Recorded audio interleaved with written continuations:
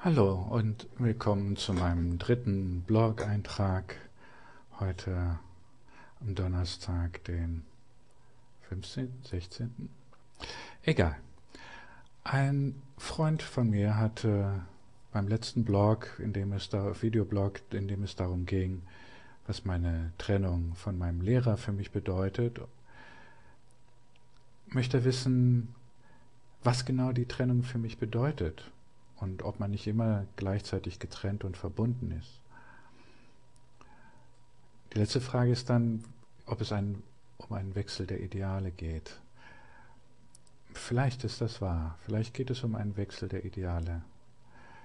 Das Ideal mit einem Meister ist, dass dieser Meister tatsächlich verbunden ist mit dem, was für ein Selbst vielleicht das heiligste oder das höchste Ziel der Menschen ist Natürlich heißt das immer das höchste Ziel für einen selbst.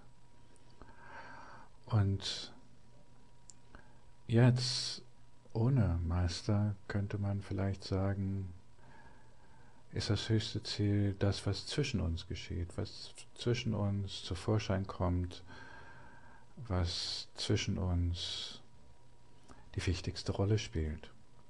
Also ja, man könnte vielleicht von Idealen sprechen wenn Ideale die Werte sind oder darstellen, die tiefsten Werte, die wir haben, dann würde ich das sagen.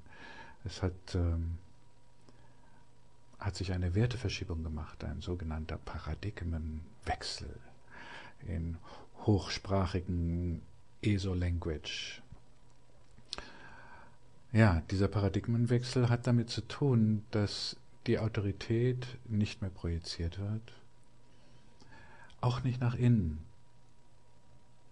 Vielleicht klingt das ein bisschen komisch, aber anders kann ich es im Moment nicht ausdrücken. Es ist der Wert, Wertewechsel von einer,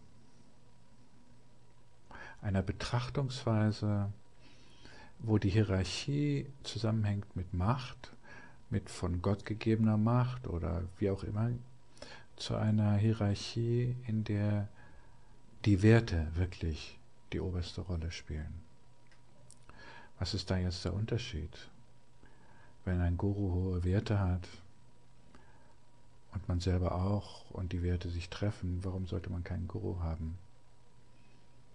Ich denke, das wirklich Gefährliche, das ist dramatisiert, aber ich lasse es mal so stehen, das wirklich Unangenehme bei so einer Betrachtungsweise mit, in der man sich einem Guru verpflichtet, ist die, dass man für einen nicht unwesentlichen Teil, weil es geht ja um die Essenz des eigenen Daseins,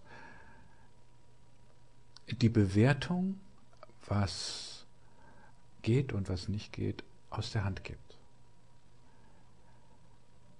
Also man sagt, quasi auf die eine oder andere Art und Weise das, was der Guru, der Lehrer, der Meister hat und weiß und sieht, ist besser beziehungsweise weiser oder mehr wirklich angepasst an das Leben als das, was ich habe. Und da genau liegt der Fehler. Das, was wir erkennen, können wir natürlich nur erkennen, weil wir Augen haben. Die Augen sind hier. Mit meinen Augen sehe ich. Nicht, dass sie mir gehören, was für ein Unsinn, mir gehört nicht der Körper, aber die sind dennoch meine Augen. Es sind die Augen, die einzigen Augen, mit denen ich sehen kann. Solange wir noch nicht irgendwelche anderen Geräte haben, Peripheriegeräte, die wir in unser Hirn stöpseln können, sind das die einzigen Augen. Und das einzige Bewusstsein, mit dem ich Entscheidungen treffen kann, ist natürlich auch hier. Wiewohl ich nicht sagen würde, hier. Hier ist Bewusstsein, hier ist Bewusstsein. Das ist überall. Und es ist auch zwischen uns. Ja, die Ideale haben sich gewechselt. Das Ideal ist jetzt, dass ich glaube, dass wir Menschen untereinander, miteinander, alles finden und erfinden müssen, was wir brauchen, um diese Welt zu einer besseren zu machen.